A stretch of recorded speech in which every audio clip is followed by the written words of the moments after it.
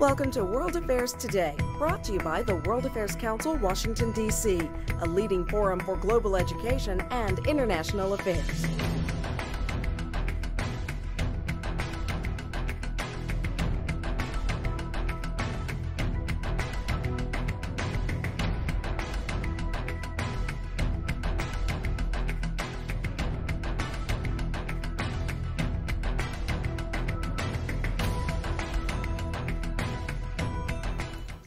Ladies and gentlemen, first of all, welcome. And, and, I would like you to give the international recognition of appreciation for a man who braved all this traffic and fought his way through the security to make it here to be with you tonight, Ambassador Jalil.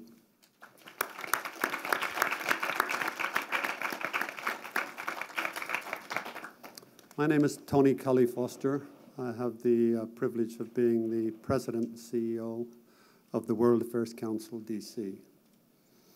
The man who comes to our podium tonight is a friend, personal friend, friend of the United States, and a very superb spokesperson for his country, not only here in the US, but globally.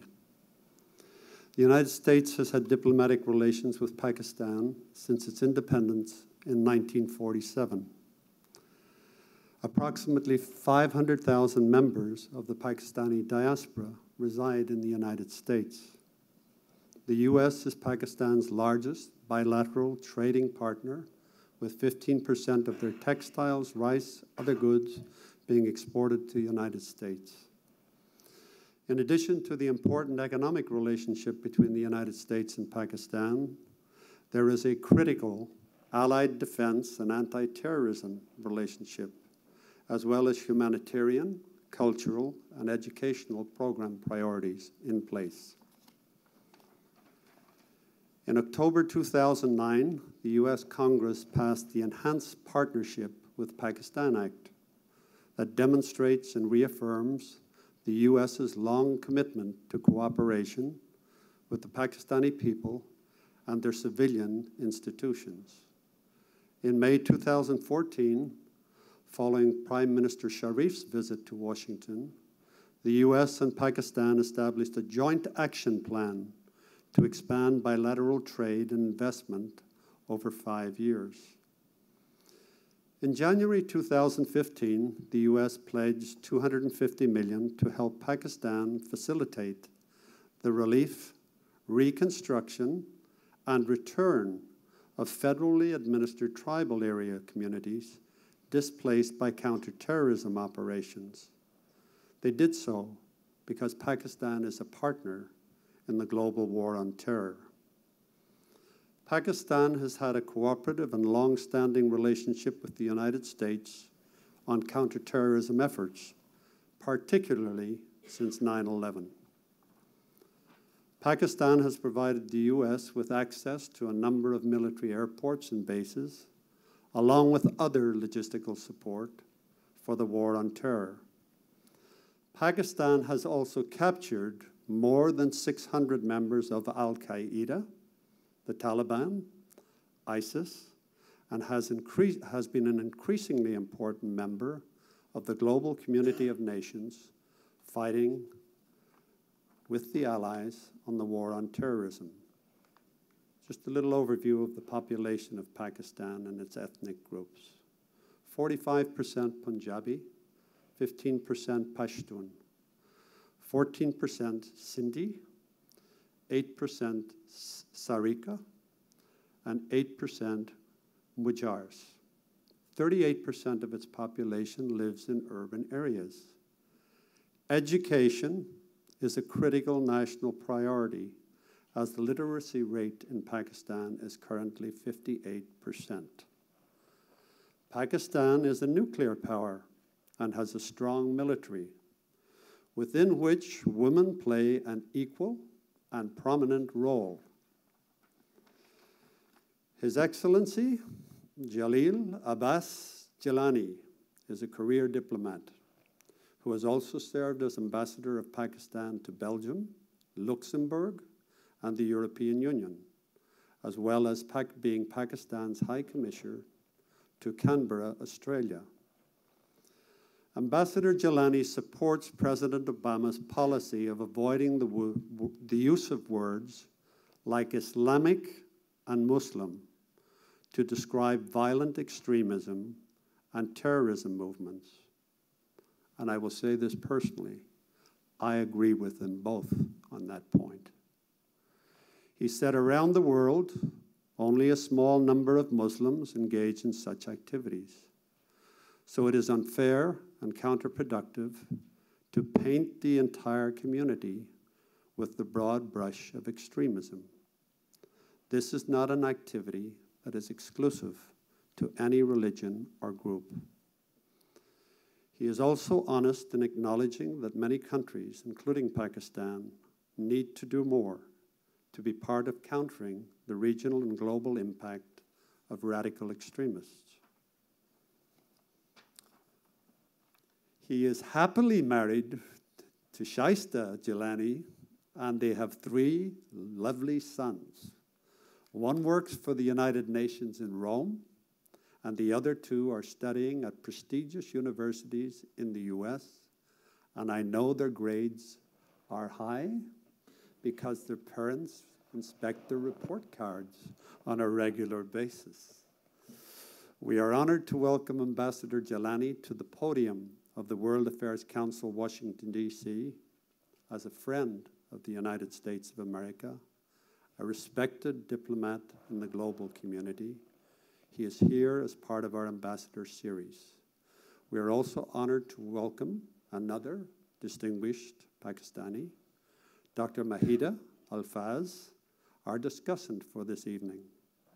Among numerous accolades, Dr. Afzal is a non-resident fellow at the Brookings Institute, where she re researches the intersection of development, security, and political economy in Pakistan.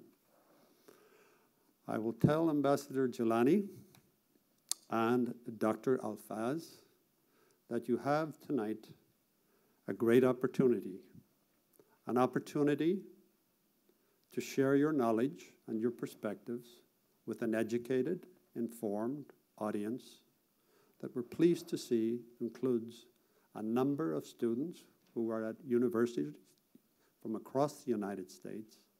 We're also delighted that C-SPAN is covering this event tonight, and we thank Brian Lamb for his public service in making this remarkable television resource available to the United States and the world. So let us give a warm welcome to Ambassador Jilani and ask him if he will be kind enough to address us tonight. Thank you so much.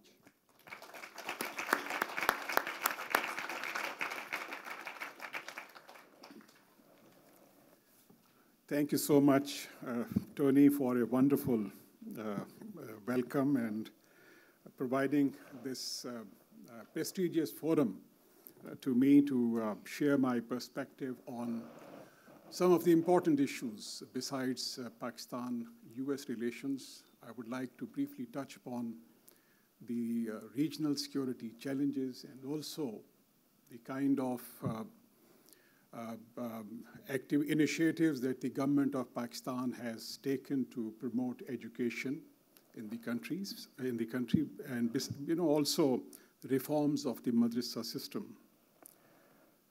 Uh, Pakistan-U.S. relations, certainly it is one of the most important relationship for my country. Without doubt, it's a unique relationship which has seen many ups and downs since 1947.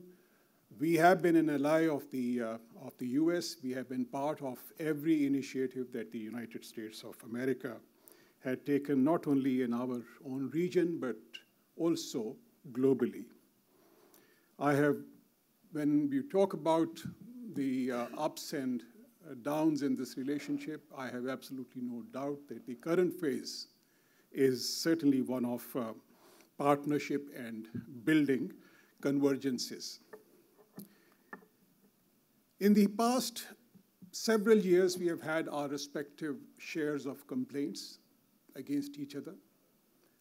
But, the, uh, but certainly, we have recognized, we have realized that we need to transcend the past and look to the future. And with, and with this objective in mind, we, are, we have opened a new chapter in our relationship between Pakistan and the United States of America. In our view, some of the important developments which are taking place internally in Pakistan and also the kind of regional and global challenges. I would call them, term them the common global challenges that we are faced with that would fundamentally alter the course of this relationship, making it more robust, sustained, and strategic. Internally, Pakistan over the last several years has gone through a silent revolution. And Tony has very ably captured the current mood in Pakistan. We certainly are a transformed country. And I say there are some very strong reasons for, for saying that. First, democracy, though noisy, it's getting stronger by the day. It is taking strong roots. Our media is ruthlessly independent. Courts are, judiciary is independent, and we have a vibrant, active civil society. There is a lot, of focus on economic revi revival, good governance, an end to extremism and terrorism, focus on health, education, energy sector development, human rights, and empowerment of women in the country. There is also a national consensus against extremists and terrorists, and because of this national consensus that we have developed, we have been able to break the back of extremist and terrorist organizations in the last one year. Peshawar school tragedy in which 150 innocent children, they were killed by, by uh, the, uh, these uh, evil forces. We have been able to, to develop a national consensus and we took decisive actions against these forces. And today when I speak to you, while terrorism and extremism is on the increase in some of the other countries, in Pakistan it is on the, it is declining. And we have absolutely no doubt that in the next coming months, we will be able to completely eliminate this phenomena from our, our soil. Ladies and gentlemen, in this back backdrop, I feel that Pakistan is certainly better positioned to meet multiple challenges. We have no doubt that a strong US Pakistan partnership will only strengthen our ability to contribute to security and stability in the region. We consider the US as a vital partner. Today, we have more convergences than divergences. I remember that last year, Secretary Kerry rightly pointed out that the big objectives united, uniting Pakistan and the United States of America are bigger than those which divide us. And I think that, again, is a very apt statement that has come from Secretary Kerry. From Pakistan's perspective, the strategic partnership must be based on mutual interests and mutual respects. Understanding of our respective security concerns, a realistic expectations from each other, and also a positive narrative about each other. There is also a need to identify areas of common interest at the bilateral, regional, and global plane.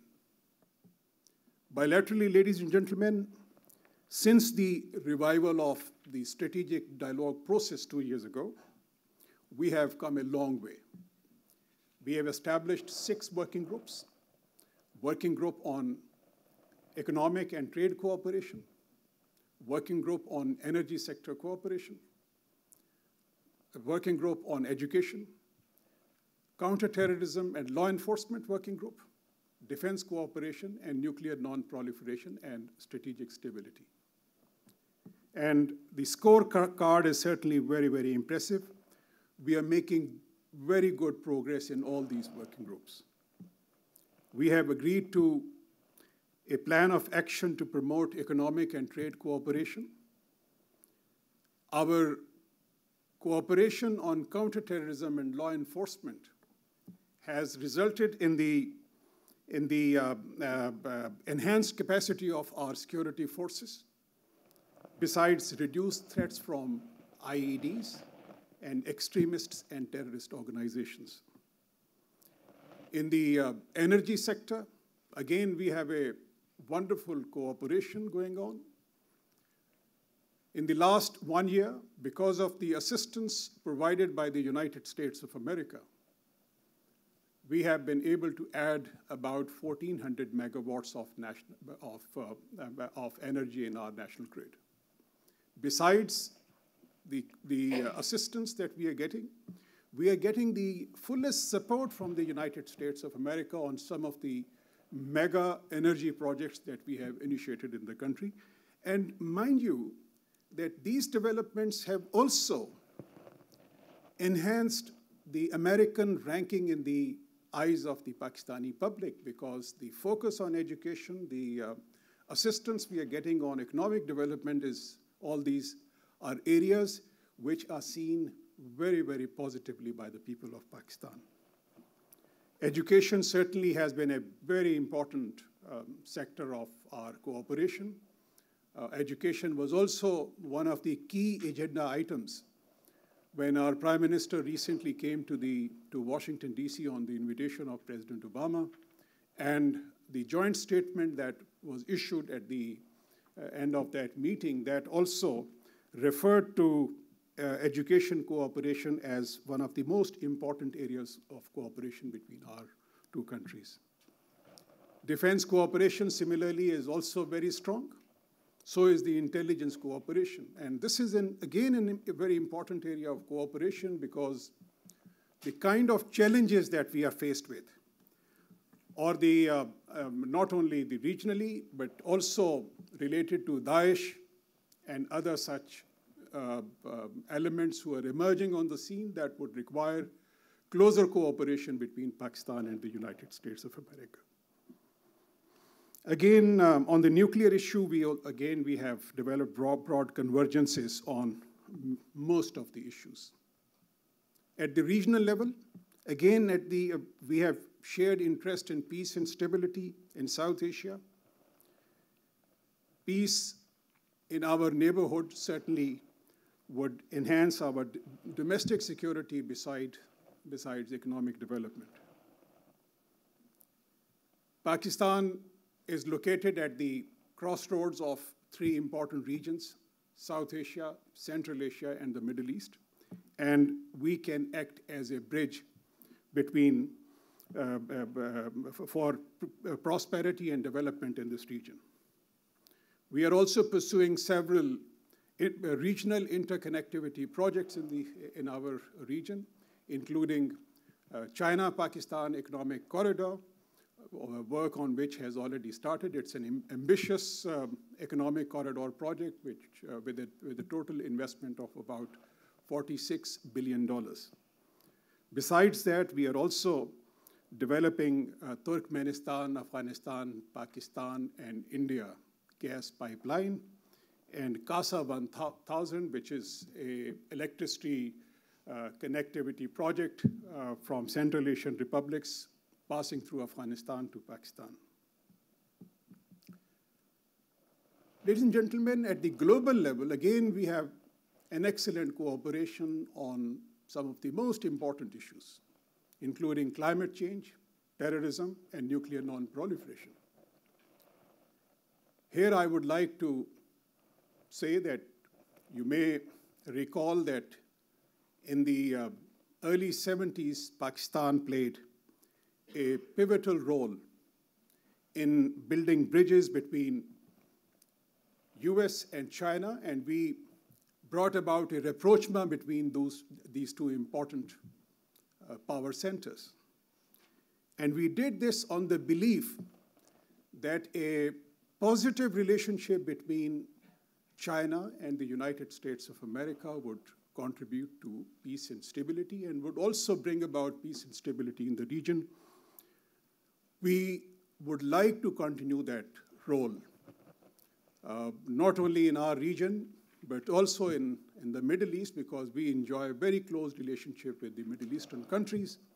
And, uh, and we certainly can, and uh, uh being a good friend of not only the United States of America, but also other neighboring countries, including Iran, we can play that kind of a role.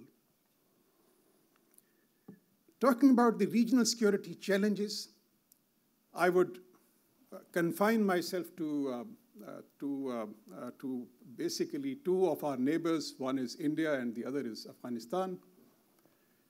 India-Pakistan relations, unfortunately, the history has not been a glorious one we have had wars, we have uh, tensions, and we have also a, made uh, continued attempts to undermine each other. And this has been the story of Pakistan India relations since 1947. But at the same time, there is also a realization that war is certainly not an option between two nuclear neighbors because all the previous wars that we fought, were we fought them with literally bows and arrows. There is a realization amongst the people of the two countries and in Pakistan that economic development cannot take place in the region. Economic development cannot take place in Pakistan and India without a peaceful environment. And I think this is, and, and, and there is also a realization that, that uh, the forces of extremism and terrorism, they also thrive in, a, in an environment of tension and hostility. Because the, the, uh, such elements, they always exploit the rivalries of the two countries and uh, they further exacerbate the situation between uh, our two countries. It is with this realization that I am very happy to inform that in Pakistan, almost all political parties, if you look at the, uh, the, uh, the elections which have taken place in Pakistan, two or three successive elections in the last three or four, um, um, uh, about two, two decades or so, the political parties in their manifesto have very clearly articulated uh, peace uh, with, the, with India, peace with Afghanistan, and peace within the region. So that is the election slogan, uh, which is being made by almost all the political parties. Our prime minister, his party, he also won the election on, on a slogan, peace through economic development, or economic development through peace. That was the slogan that was made by the prime minister and his party, and majority of the people in Pakistan, they voted uh, for this, for, for creating a peaceful environment in, in the region. Prime Minister of Pakistan, Mr. Nawaz Sharif, he was the first leaders in South Asia to congratulate Prime Minister Modi when he was, he was elected as the Prime Minister of India. He also participated in the in the swearing-in ceremony of Prime Minister Modi, he undertook a travel visit to India to participate there. But unfortunately, I would term the last two years as wasted years. Wasted years because we could not resume the dialogue process despite many understandings or agreements that were reached between the leadership of the two countries. Uh, we were disappointed, but we did not relent in our efforts, and we continued to make efforts to, to engage India. I am, we are encouraged that after last week's meeting between Prime Minister of Pakistan and Prime Minister Modi on the sidelines of the, uh, of the environment, of, of the climate summit in Paris, the two leaders agreed to agreed that the national security advisors and the foreign secretaries of the two countries they should meet.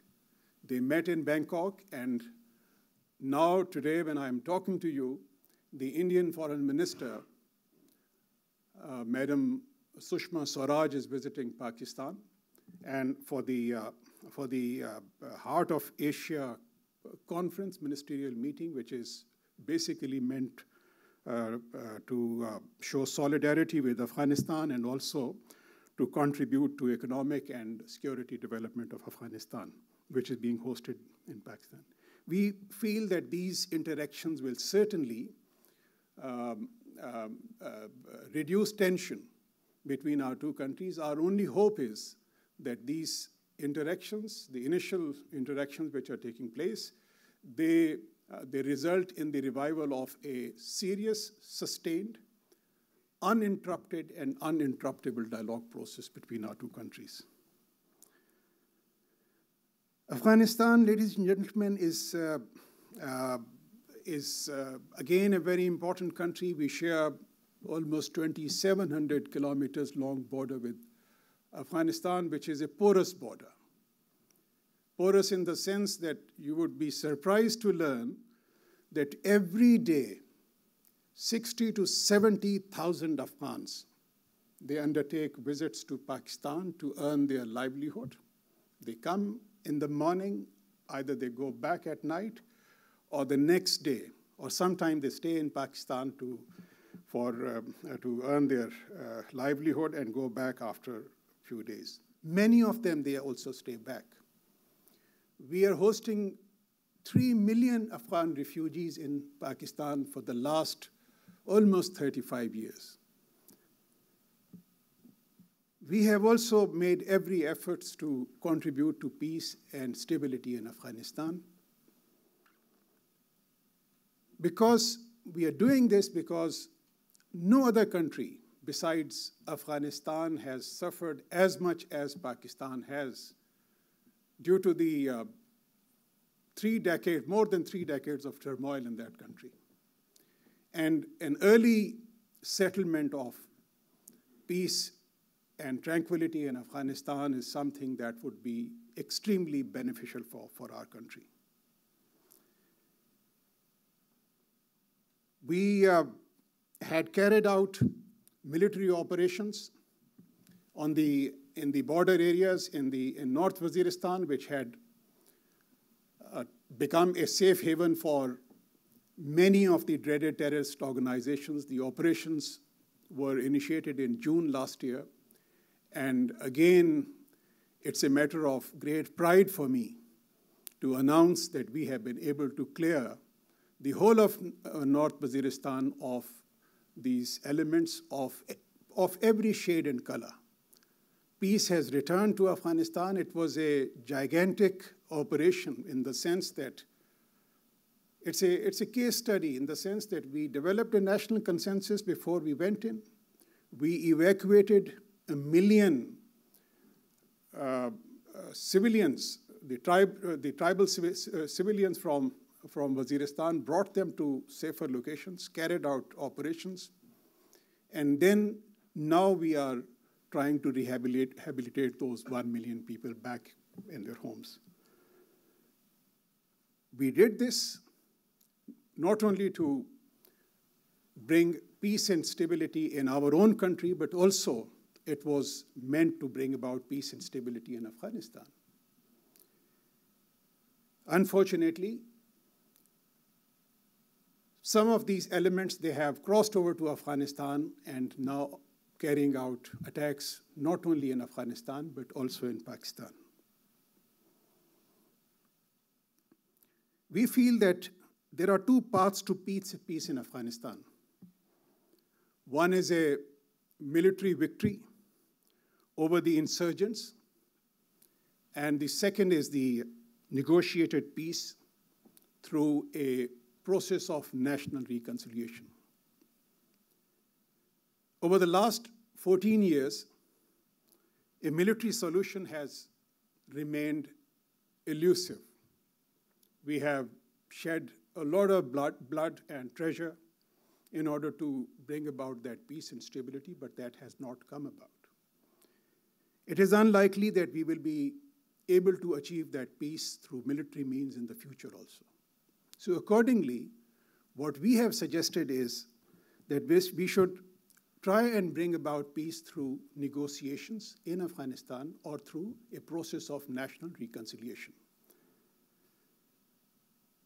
We have, in our interaction with the Afghan leadership, we have suggested to them that Pakistan would be willing to play a role for not only the revival of the, of the interrupted uh, reconciliation process between Afghan Taliban, but also uh, Afghan Taliban with the uh, Afghan government, but we will be able to uh, to bring about other take we will be able to take other steps in order to peace, bring peace in Afghanistan.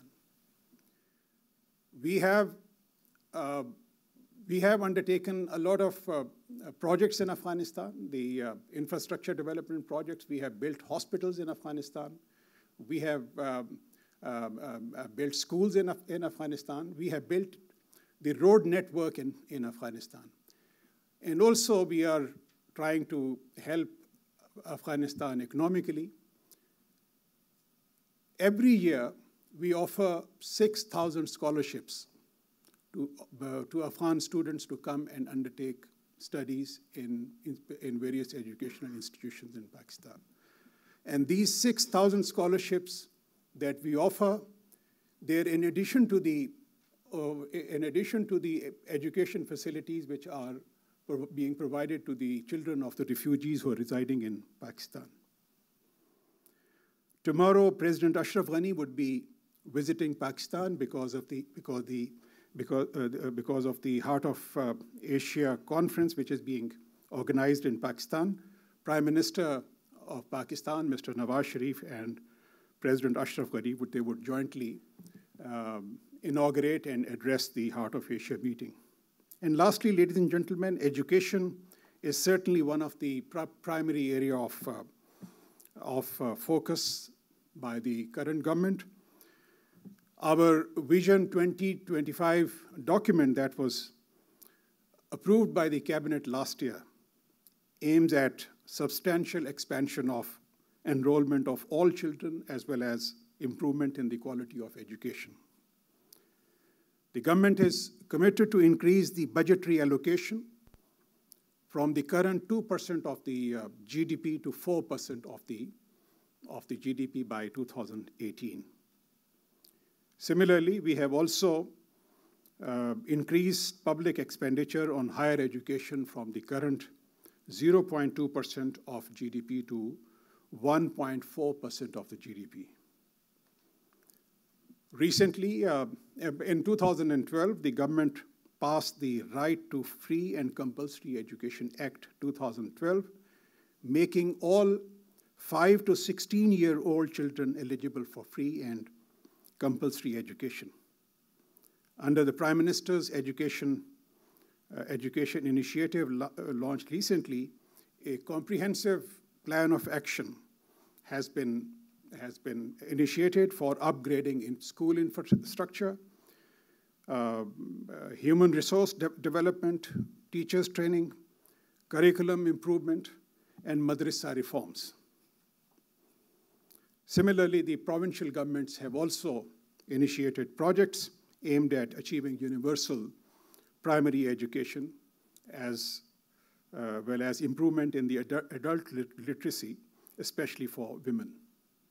Malala Yousafzai, as you know, has become a role model for all young girls in Pakistan, and we are witnessing increased enrollment by, by young girls, even from the remote areas of, of Pakistan, including in the tribal areas, who are coming forward to, to, to, to, to get education.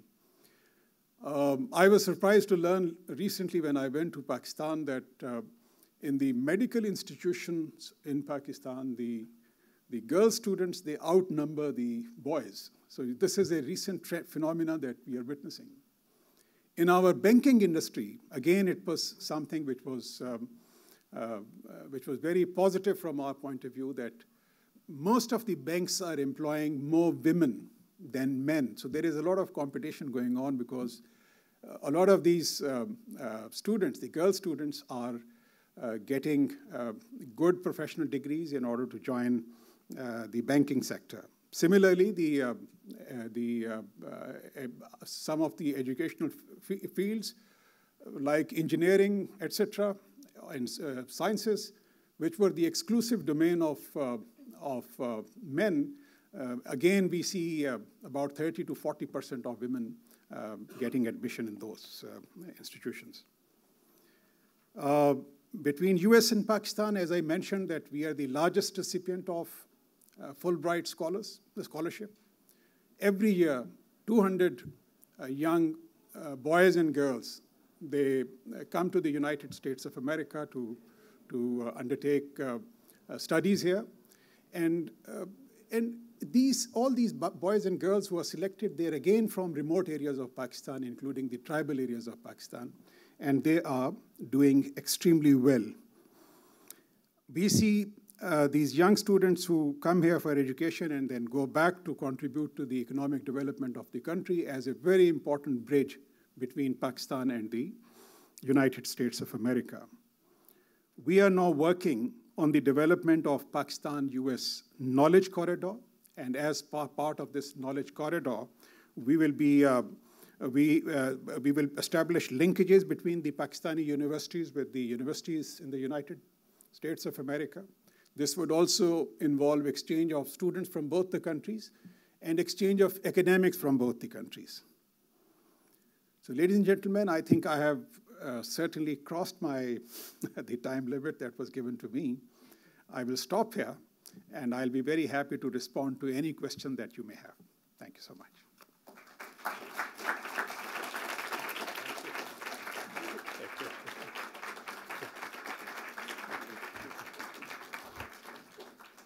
So um, I'll start off with a couple of questions, and then we'll open it up to um, audience Q&A, okay?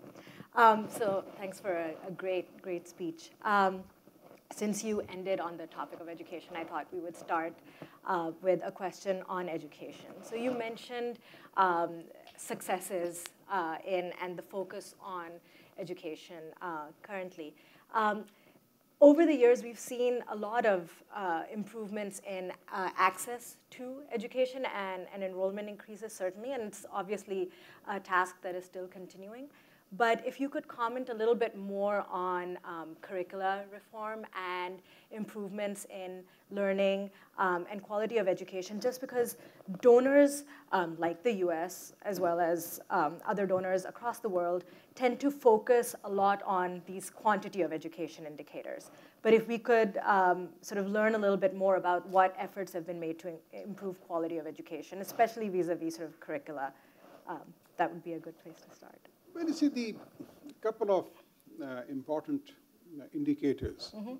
For instance, I'm sure that you have come from Pakistan. I'm, I suppose that you also came from the same education system that I came from mm -hmm. or my children came from, or mm -hmm. many of the other Pakistani students who come from the same education system. And um, my interaction with the universities, uh, my interaction with the students, that uh, convinces me that many of the uh, uh, students who come to the United States of America and product of the, the early education system in Pakistan, they do extremely well. And I think they are, uh, they, they compete with their other classmates. So that basically uh, is, is, is a reflection of the good quality education that, that um, I was talking about. Certainly, there are areas which needs improvement because in, uh, in our, uh, uh, during the Soviet invasion of Afghanistan, in order to defeat Soviet Union, you know that a lot of these madrasas, they came mm -hmm. up, not only along the border, but also. So what the government is trying to do now is to introduce a reform of madrasas. Mm -hmm. The government has already formed a committee to look into the curriculum in order to bring it at par with the, uh, with the, uh, the, the current day realities, so, so that, you know, the, uh, uh, if there were any distortions in the education system, they could be removed. Mm -hmm. As I said that um, more and more um, uh, the girl students, you know, the enrollment has increased. The um, uh, uh, more and more women are getting admission in the, in the uh, professional institutions. Mm -hmm. So one is um, really hopeful. That the future looks very, very bright for these young Pakistani boys and girls. And I have also uh, seen another very important trend, which is a recent trend, that most of these Pakistani students uh, both boys and girls who come to the United States of America, or they go to other European countries, or go to Australia for higher education, they're all going back to Pakistan to, for, to contribute to the economic development, which is, again, a very positive trend that we are witnessing. Um, if I could, if I could sort of um, ask one more question on education, and then we can move sure. to bilateral relations and the regional security issue.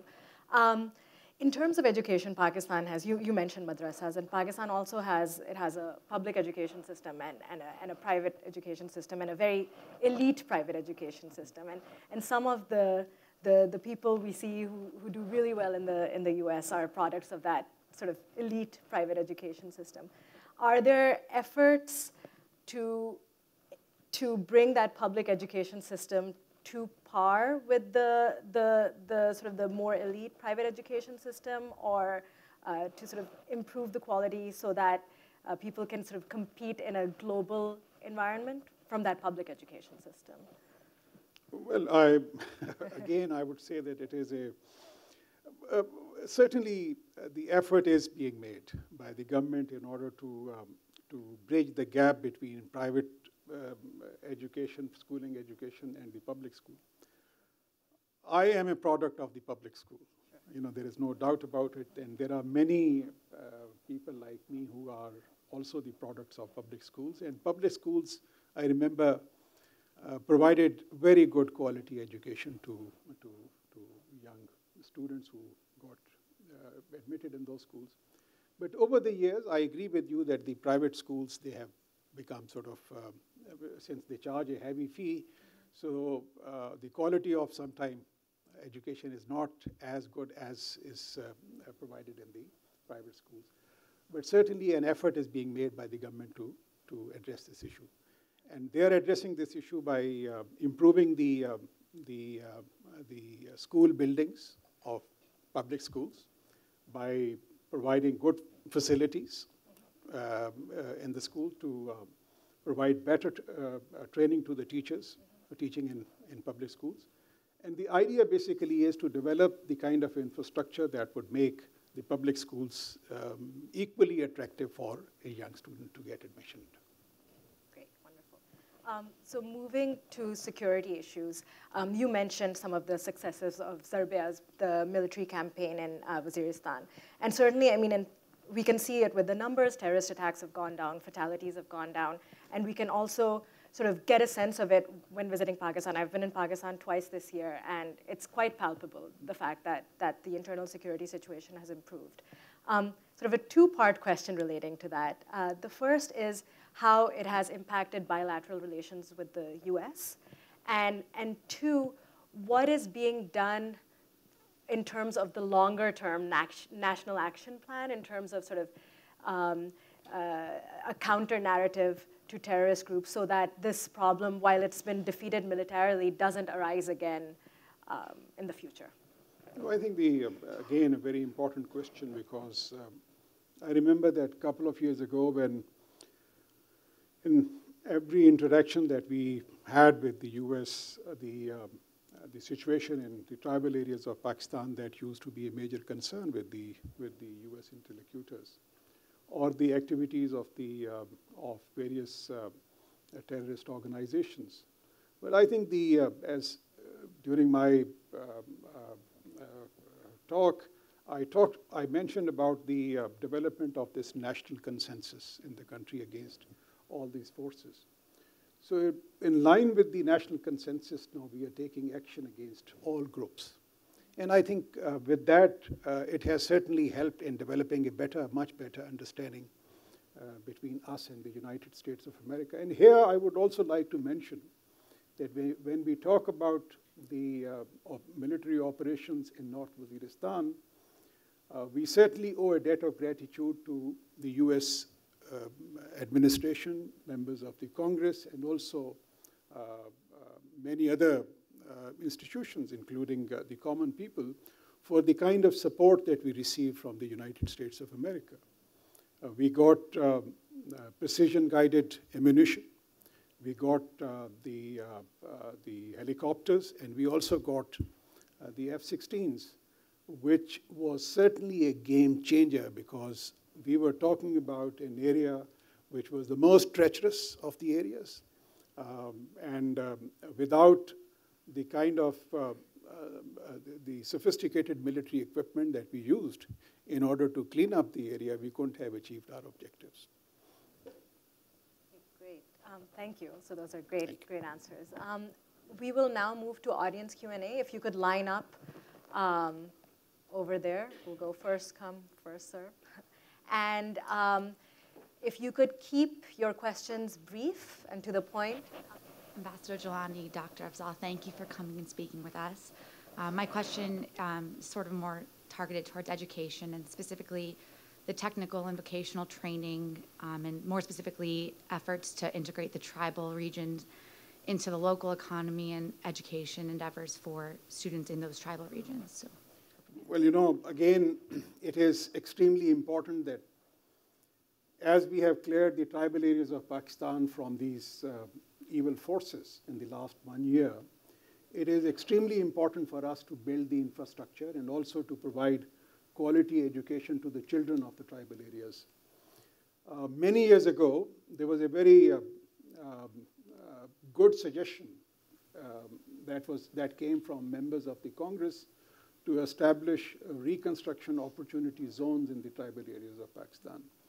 But unfortunately, that um, um, proposal uh, did not um, go, you know, move forward because of certain reasons. Uh, we feel that given the kind of challenges that uh, we, we, we face and the kind of resource constraint that we have, it would require collective effort on the part of uh, all of us who created that situation in the first place in the 70s. So accordingly, I think uh, uh, we are getting a lot of assistance from the United States of America. But the point is that in case you need, say, three or four billion dollars in order to build the kind of infrastructure that you're talking about, uh, the, uh, the input that we are getting from the external sources is very small, and we have to basically prioritize our own uh, expenses. So, but, uh, but, uh, but uh, I think the, uh, uh, this, is, this is an area, there is a lot of understanding of this problem that we are faced with. And hopefully, as we intensify our dialogue and perhaps try and revive the proposal that, was, that remained dormant for a number of years, I think that would bring a lot of prosperity to the people of the tribal areas. Thank you. Uh, Ambassador Jilani, you touched upon the importance of economic development to peace in the region, and you talked about uh, how Pakistan is engaging with countries in the region and with the U.S. to uh, expand its uh, economic development. But could you touch on the domestic policies that Pakistan is pursuing to reduce graft corruption in Pakistan and to otherwise make Pakistan a better environment for new and growing businesses. Yeah, well, again, I think this is a very important issue because uh, corruption, good governance, as I mentioned, are, uh, uh, are the issues which are being constantly being debated in the country. But here, again, I would like to mention that, uh, uh, that democracy has done a lot of good to Pakistan. Uh, people of Pakistan, when they feel that a particular government uh, is, has not uh, done very well in terms of uh, governance or has not been able to arrest corruption, people, they vote them out. And this is a phenomena, this is a constant phenomena that we are witnessing today. I think with the, uh, uh, the uh, I mentioned about the ruthless nature of our media because the media is trying to pick holes uh, in almost everything from, you know, uh, whether the, you, uh, the members of the parliament, whether the bureaucracy, whether you name any institution and that comes under a lot of scrutiny as far as the media is concerned. Then there are civil society organizations which are continuously agitating this, uh, this issue. So I would briefly mention that these uh, developments have also done a lot of good to us because um, in Pakistan the situation has improved significantly because um, in the last, for instance, two years, if you look at the reports which have uh, come, uh, which have been released by the international financial institutions or international rating agencies, the uh, rating, uh, Pakistan's economic outlook has improved significantly. Uh, it, it is again because of the steps that the government has taken in order to ensure good governance, the steps taken by the government in order to, to arrest uh, corruption, uh, to go after corrupt elements.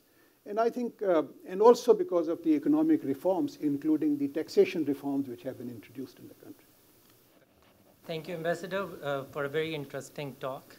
I work on education development in East Africa and South Asia at the World Bank. So I'll throw a bit of numbers on you in terms of education development in Pakistan. Uh, so in the past five or six years, Pakistan has received more than $2 billion in education investments in public education. Uh, but as far as the results are concerned, we don't see those kind of numbers coming from the country. Particularly, Pakistan is still one of the five countries in the world with the most out-of-school age children. So what is so different in the government's strategy today that you think that these numbers will change when $2 billion couldn't make a difference? Yeah. No, but see, the point is that uh, the, you're talking about $2 billion for a, for a country uh, with a population of 200 million people. Uh, see, you're talking about a country where uh, the literacy rate was, uh, was uh, about 60%. But today, I wish that I had the figures with me to show that in the last two years, the enrollment, for instance, has increased. Uh, for uh, both boys and girls. Uh, as I mentioned that we have introduced compulsory education. And also, we have provided incentives to the children in the rural areas where, uh, because of the economic reasons, the, the, parents would not send their children to schools. But now, as part of this, uh, the uh, initiative that you're talking about, we are now providing children in the remote areas of Pakistan or the parents. We give them incentives and the cash incentives for uh, in order for in order to to uh, to uh, to basically um, uh, lure them into schools. You know, that's, that is one thing. Then the number of schools which are being established, the number of buildings which are being upgraded, and the number of other universities which are being established, that require huge resources and $2 billion that you are talking about, that's certainly uh, would not be sufficient. What we are talking about is we need to invest massive resources into this sector because this is a sector which I have absolutely, uh, I'll be frank and candid that I must confess that it has, it is, it is a sector which uh, needed much more attention in the past, uh, but luckily that attention that it requires that is being paid. Thank you. Thank you. Thank you both so much for speaking this evening and sharing some really interesting thoughts and insights. This question is for Mr. Ambassador.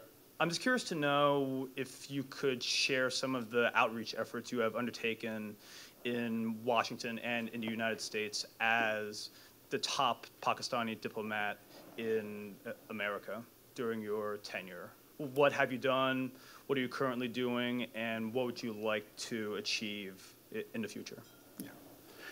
You see, um, my job as ambassador of Pakistan is not only to uh, promote the interests of uh, my own country in this, uh, in this uh, great country, but also to, to also uh, build a strong relationship between our two countries.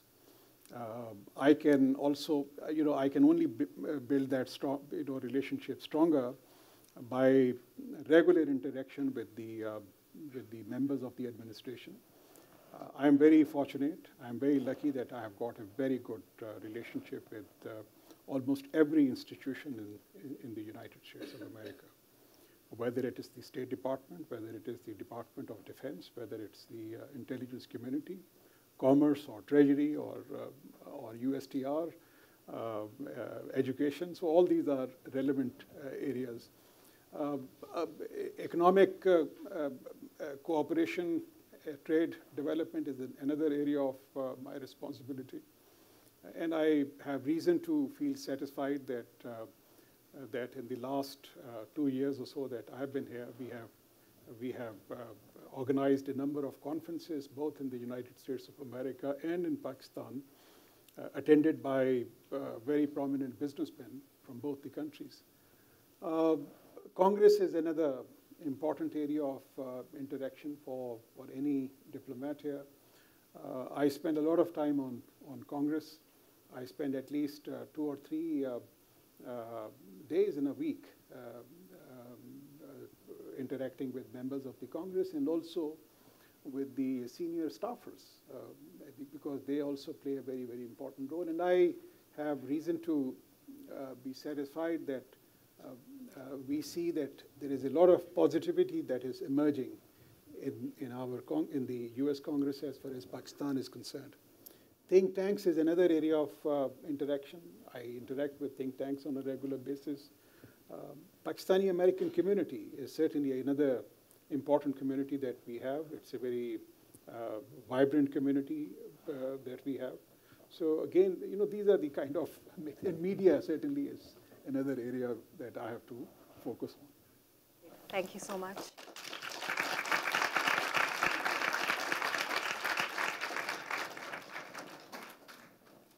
Ladies and gentlemen, before we uh, go back and have something to eat and drink, and I hope you'll stay and join in the after discussion uh, conversation. It's my pleasure tonight to have the honor of presenting something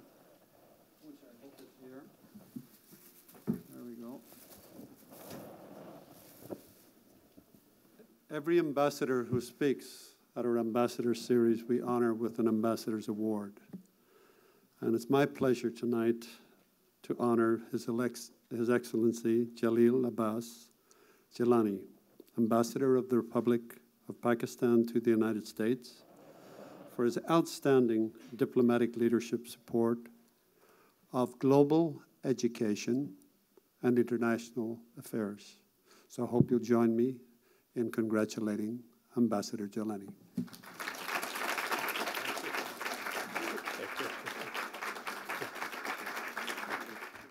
Thank you for joining us for World Affairs Today, a production of the World Affairs Council, Washington, D.C.